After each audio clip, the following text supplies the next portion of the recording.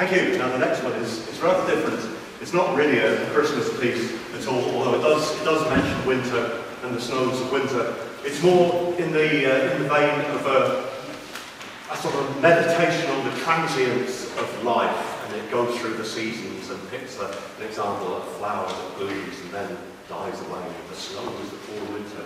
The sun comes out and they all melt, and uh, you know, it's all a bit uh, bit depressing, really. But um, having, having gone through all these, these examples of how life really isn't, isn't a very long-lasting thing, but we, we, when we were learning this one, we, we decided that it really needed a, a rather more cheerful and philosophical coda that would uh, set the, the record straight, would bring things back to a, to a sort of conclusion which was a little bit more optimistic, really. And so we had a sort of a choral uh, poetry competition to see who could come up with a couple of lines that would, uh, that would do this effectively. And uh, I'm pleased to say that uh, we, we, we used the uh, of uh, Ruth, one of our in one of the extraordinary sparkly jumper.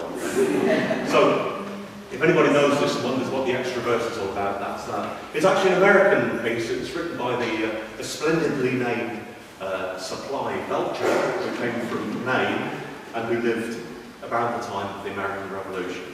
So here we go. This one's called Transition. It's unaccompanied with a well-deserved rest. Okay, we'll be back soon.